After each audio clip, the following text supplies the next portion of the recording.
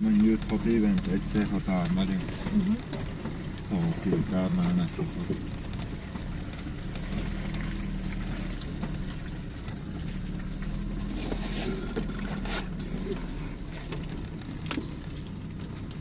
De ilyen etetésen kívül, amikor ö, akkor ni- nincs, nem etetik őket, tehát abszolút önfenntartó, ugye, a medve. Igen. Ez a, meg így is az volt a baj, hogy tud. Mi, amit most mi kihoztunk, az egy fézsalt alma volt csak. Aha. Maximum 4-5 liter kukorica. Mm. Na, és oda jöttek egyet, faladoztak savon. Még visszajönnek, reggelig itt lesznek. Biztos, biztos. Képek szerint reggel 5 óra, 6 órakor mennek. Mindig itt mozognak.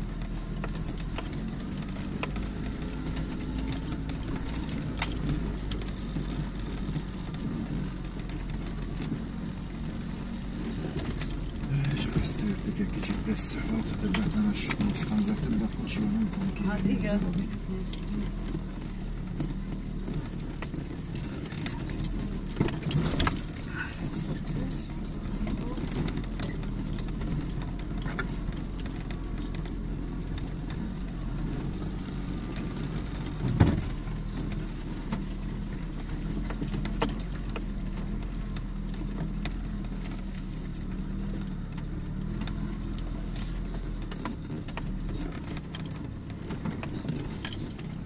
Szépen, itt korhada